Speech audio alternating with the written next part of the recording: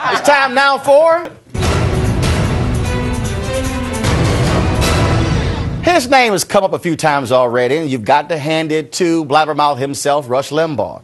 On Wednesday, he floated the idea that Al Qaeda gave up Osama bin Laden to the Navy SEALs so President Obama could be reelected. Oh, Dude, seriously? Seriously. But it's what he said earlier this week that teed him up for the biggest damn lie.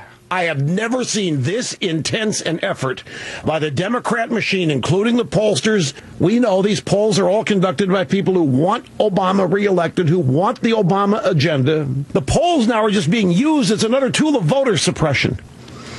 The polls are an attempt to ref- uh, not reflect public opinion, but to shape it. Yours. I want to depress the heck out of you. No sooner had Rush said that when sure enough, another left wing media outlet came out with a poll showing President Obama up five points over Mitt Romney, 48 43 among likely voters.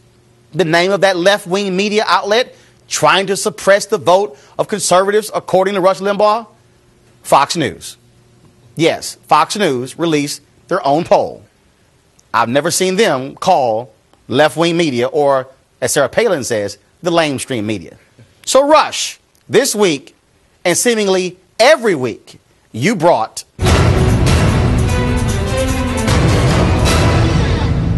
Elroy, seriously. All right. My man just lies. Just just lies. And then he attacked us pollsters. Some, sometimes, what is that? sometimes you just can't defend brothers, and I'm not even defending on this one.